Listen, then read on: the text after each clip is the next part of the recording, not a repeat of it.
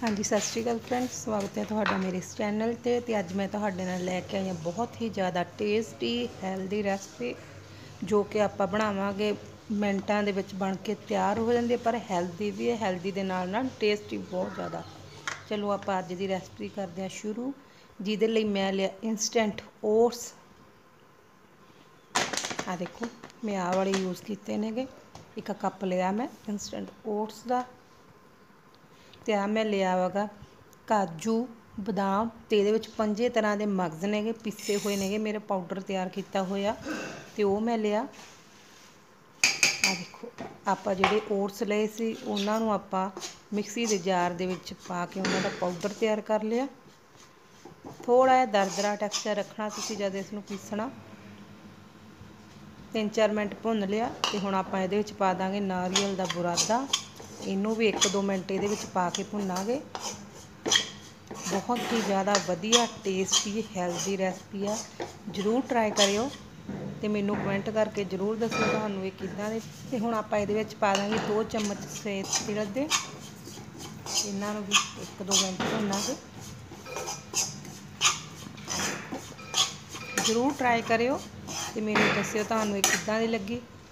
ਤੇ ਹੁਣ ਜੋ ਆਪਾਂ ਲਿਆ ਸੀਗਾ ਬਦਾਮਾਂ ਦਾ ਪਾਊਡਰ ਉਹ ਪਾ ਦਾਂਗੇ।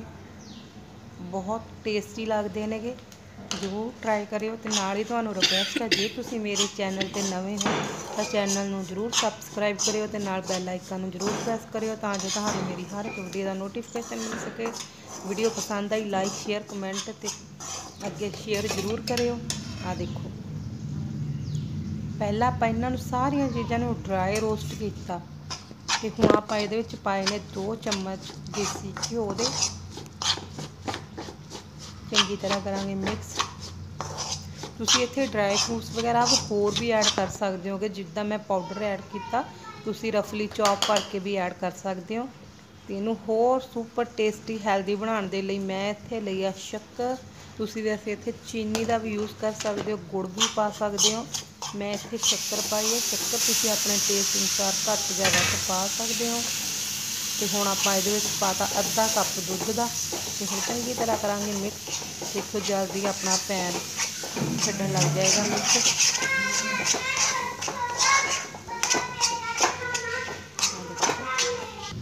ਬਹੁਤ ਹੀ ਜ਼ਿਆਦਾ ਵਧੀਆ ਬਣਦੇ ਨੇ। ਜਰੂਰ ਟਰਾਈ ਕਰਿਓ।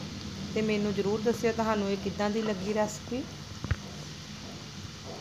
ਹਾਂ ਲੋ ਜੀ ਤੇ ਹੁਣ ਜਦੋਂ ਆਪਾਂ ਇਹਦੇ ਲੱਡੂ, ਤੁਸੀਂ ਕੋਈ ਵੀ ਸ਼ੇਪ ਇਹਦੀ ਤਿਆਰ ਕਰ ਸਕਦੇ ਲੱਡੂ ਵੱਟ ਸਕਦੇ ਹੋ, ਪੇੜੇ ਬਣਾ ਸਕਦੇ ਹੋ, ਜੋ ਵੀ ਤੁਸੀਂ ਲਾਈਕ ਕਰਦੇ ਹੋ।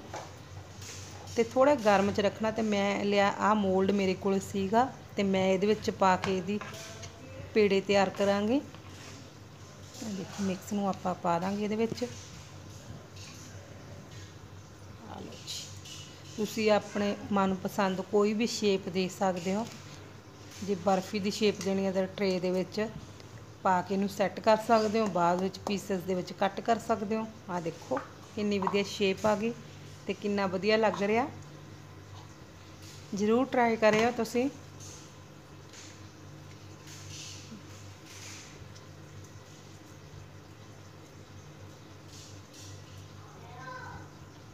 ਖਸਖਸ ਵਗੈਰਾ ਵੀ ਤੁਸੀਂ ਇਹਦੇ ਵਿੱਚ ਐਡ ਕਰ ਸਕਦੇ ਹੋ। ਆ ਲਓ ਜੀ। ਸੇਮ ਪ੍ਰੋਸੀਜਰ ਦੇ ਨਾਲ ਆਪਾਂ ਇਹਨੂੰ ਕੱਢ ਲਾਂਗੇ। ਬਹੁਤ ਈਜ਼ੀਲੀ ਨਿਕਲ ਜਾਂਦਾ, ਕੋਈ ਵੀ ਪਰੇਸ਼ਾਨੀ ਨਹੀਂ ਆਉਂਦੀ ਹੈਗੀ। ਆ ਦੇਖੋ। ਲਓ ਜੀ, ਆਪਣੇ ਪੇੜੇ ਹੋ ਗਏ ਨੇ ਤਿਆਰ।